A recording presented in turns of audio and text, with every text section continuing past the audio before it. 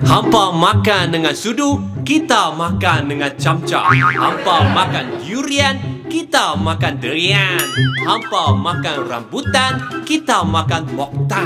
Hampa minum air kelapa, kita minum air nyok.